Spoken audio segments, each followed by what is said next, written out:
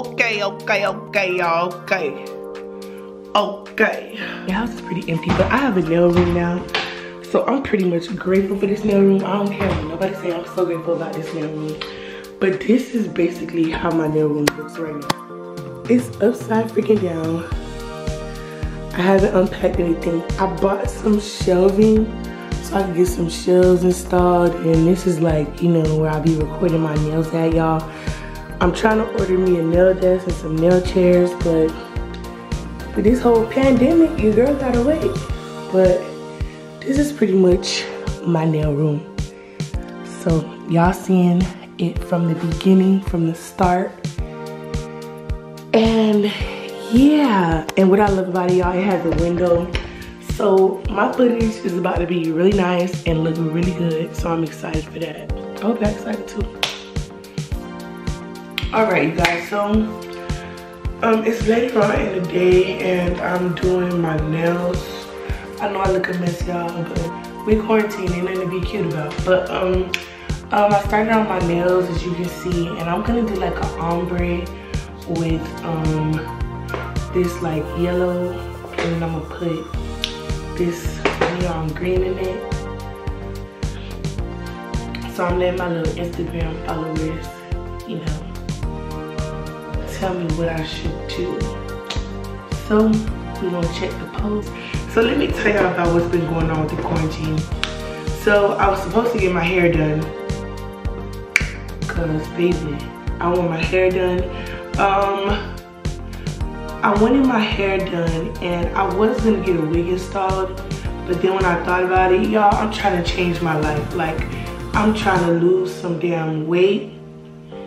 So I went, so I decided on getting plaits or whatever the case may be. Box braids, whatever you guys call it, but we call them plaits where I'm from. So I was supposed to get my plaits done last week Friday, but I couldn't because of this whole corona stuff. So I got canceled on, so the girl rescheduled to um, this upcoming Friday. So I decided to get box braids because um, number one, it's gonna be hot. I plan on recording a lot, so I feel like if I don't have to worry about my hair and stuff like that, I'll be more productive.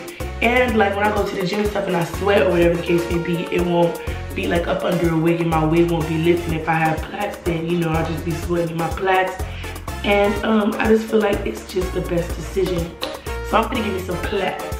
Um, for all my girls that's like in nail school and stuff like that, like y'all, for me, one of the hardest things to do is marbling. Like I'm not good at the swirls and stuff yet.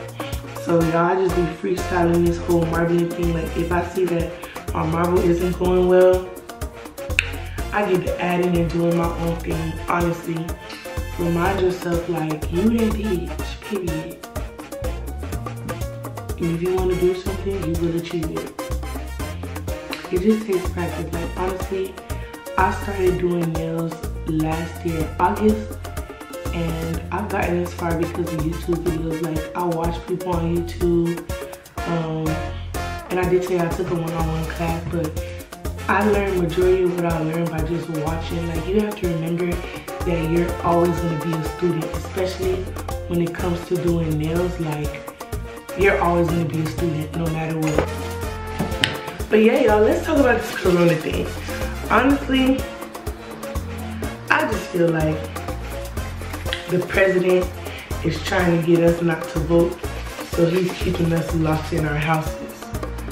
But I could be lying. Mm, I don't know. But honestly, like, but yeah, y'all. So I just feel like he just like it's something that's a distraction. But I'm not like a conspiracy type of person. Like I just go with the flow because I ain't got time to be, you know, clouding my brain with what these people could possibly be doing. So I'm not really into that stuff, but I just feel like this is like not the right time. 2020 is supposed to be like my year and a lot of other people's year. Like, what y'all, like, what is this? Like, I'm grateful that I don't have kids and stuff because I'm hearing that kids not going to school for like two weeks. People are being laid off and that's really, really sad. Like, that's messed up. And then rent is still due. That's what confuses me. Like, how is all this going on, but y'all don't have anything in place for people for people's well-being and people's housing. Like, it's really messed up. Like, I know somebody who got laid off for the next two months.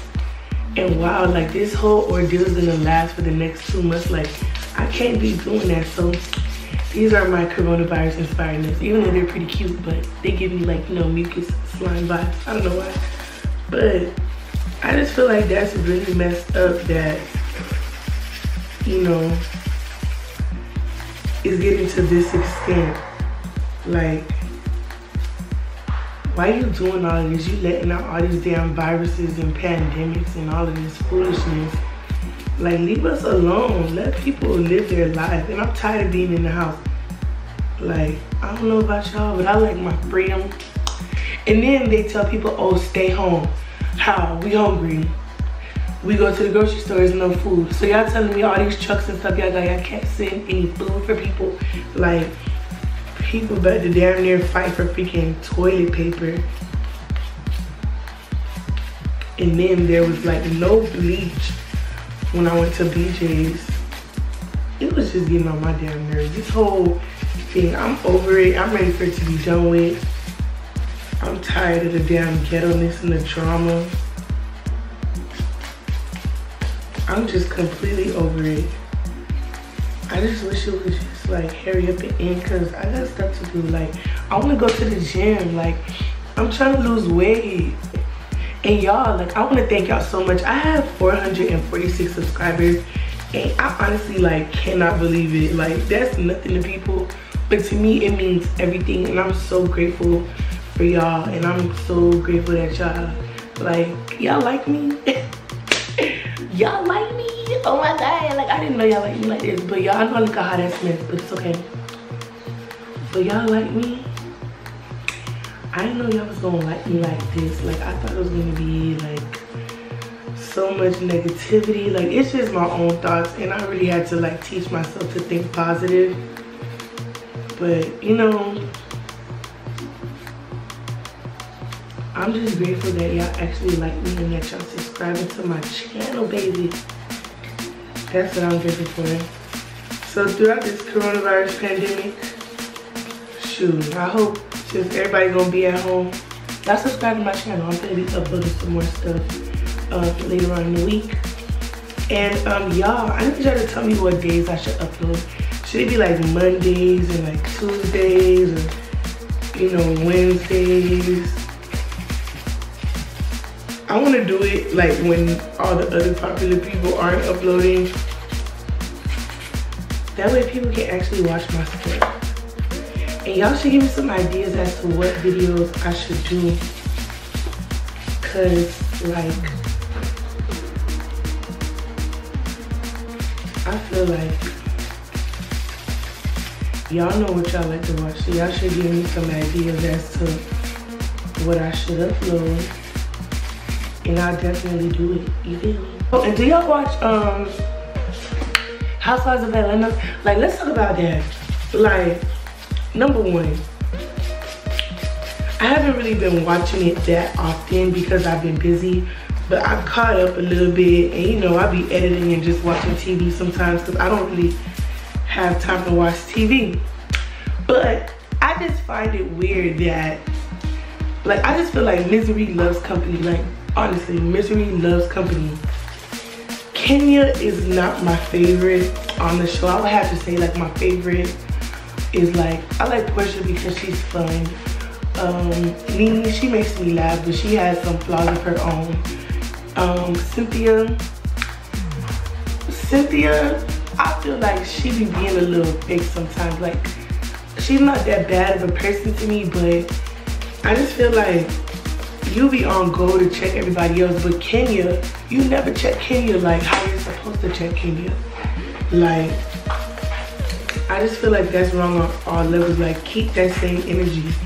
And she always enables Kenya. Like, Kenya be doing some shady stuff and Cynthia just overlooks it. I don't know why, but she just does and it, it annoys me. Like, it's causing her to not be like, you know, one of the girls that I favor. Like, you know, I don't like that. And I honestly feel like um, Nene, she's trying to change, but people can take you back from the path that you're trying to go. Like I'm not sticking up for Nene because we all know that she's over the top. But I just feel like, dang, like if she's apologizing, let her do that. Just let her apologize. You don't have to accept it, but just get it over with. I don't want the, like, I feel like Kenya just doing too much. Like you sit there and you try to address everybody about their business. Um, she went to Tanya and brought um, the mistress of Tanya to Tanya. But this whole time your man was cheating on you. Karma. Like you try to inflict so much pain on other people. When it's you, you sitting there like, oh, I know these girls want to see me fail because you want to see other people fail. You put out that energy into the universe. That's why that stuff is happening to you. Like, stop acting like you're such a victim and you're so hurt. And she's always trying to bring back, like, you know, talk about childhood trauma or, you know, trauma in her life. I'm not saying that people don't go through things because I'm sure that, you know, you know, I'm, I just know that people go through a lot. Like, I've been through a lot in my life, but I don't allow that to cause me to treat other people bad and I don't use that as a way to enable myself to be a mean person. Like Kenya be acting like she's such a good person. No, you shady as shit. You just be ready to break somebody else down. But when it's you, you try to put up this front like you so strong. Girl, you ain't strong. We all know you was in that bed crying. And I knew from the jump that marriage was just a joke because like Marc just doesn't give me like he never gave, gave me like those loving vibes. Like it was never that. And even when they did have those alleged loving vibes that she claims that was so magical when they first met, we ain't never get a glimpse of it, so I don't believe it. But um, yeah, tell me what y'all think. This is Marc Daly, girl. You be lying on the daily. You be shady on the daily. You be messy on the daily. You be breaking people down on the daily. And that's exactly why your ass is going through what you're going through. I just don't feel any sympathy towards Kenya. But Kenya reminds me of myself a little bit because she stay on go and that's me, I be on go. I don't let nobody try me. So I like that quality about her. But sometimes you gotta know when to chill out or when to not um, attack somebody or kick them while they're down. And just a side note, Tanya, honorable mention. I really like how she carries herself. I don't know if it's because she's not from America or she just has like that chill personality. When Kenya was coming at her neck and stuff and just going in about her man and stuff, she kept it so like calm and collect. Like I wish that was a quality quality that I had. Like I really um admire that. Like she was really like cool and I would have been cussing up a storm. Like you ain't been talking about my man. It's crazy. Like you did all of that just for your man to be cheating. And Tanya was just like, oh, that's why she was acting the way she was acting. You know, she needed to get slapped. Because I just feel like Tanya, I'm um, not Tanya, Tanya, whatever her name is. Kenya plays with who she wants to play with. Because if I ever end up on one of these shows, bitches get slapped down for playing with me. Because I don't appreciate that type of stuff. And there's a way that you, you know, tell a woman about these things. People doing it out in the open. You never had genuine intentions, you know, for the person. And I feel like Kenya is so good at um, doing things and then pretending like it wasn't out of spite. Like even with um, Cynthia's engagement, every like Kandi pretty much told you that she was gonna get proposed to and you still walked up to her and was like, oh, I think you're gonna get proposed to today. Like, why would you kill someone's joy? Like, it just shows misery loves company. She's not happy in her own marriage, so she's gonna mess up and, and dim the light on a beautiful, um, a beautiful situation. Like, why would you do that? That's so. You guys feel like friends need to go to therapy? I honestly think that friendships deserve therapy because people overlook a lot of things because they won't react like you would react. And I feel like in friendships, you have to realize something may not be a big deal to you, but to your friend, it may be something that's like non-negotiable, something that's like full-on betrayal. And I've experienced that where I feel like, I'm like, damn, off this bitch do this to me. Like, oh she not my friend. And then you talk to the person who did it for you and they're like, oh, I didn't think it was that serious. And you're just looking at them like, are you dumb?